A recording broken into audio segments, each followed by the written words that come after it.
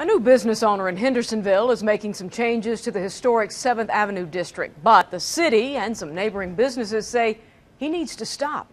News 13's Evan Donovan joins us live from 7th Avenue. And Evan, what is the source of all the controversy? Well, Tammy, it's this area right behind me, that plaza in front of the train depot on 7th Avenue. The city says that they've refocused their efforts on beautification and cleanup of 7th Avenue, including that area, since their city council retreat in January of this year. But one business owner is taking the broom into his own hands, and some of his neighbors don't like it.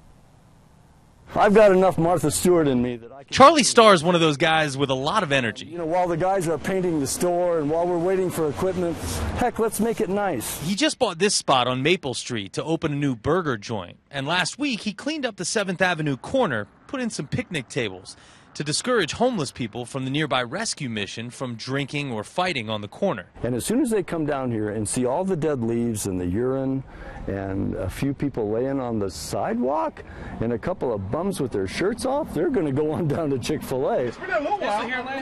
But other nearby business owners say Charlie hasn't been around these parts long enough. David Suber owns Daddy D's Soul Food right on the corner.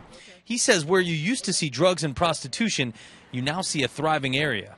Seen the place been cleaned up, police patrolling, every, you know, doing on the beat, walking like they are now. Remodeled this building myself, me and my sister did. Uh, just seen things go from nothing to steady building up, slowly but surely. The city says they've received multiple complaints from nearby businesses about Charlie's cleanup efforts. But as he'll tell you himself, he's a loose cannon, which I am a little bit. Now, the city says that they are working to make sure that they get this uh, area cleaned up, and they're excited about Charlie bringing his business here and helping them clean up, but they want to make sure he does it the right way. The historic 7th Avenue District Advisory Committee has a meeting on the second Monday of every month, so the city has given Charlie until November 10th uh, to take his excuse me, they've given Charlie until the end of the week to take his picnic tables out of the area he put them in, and their next meeting is on November 10th.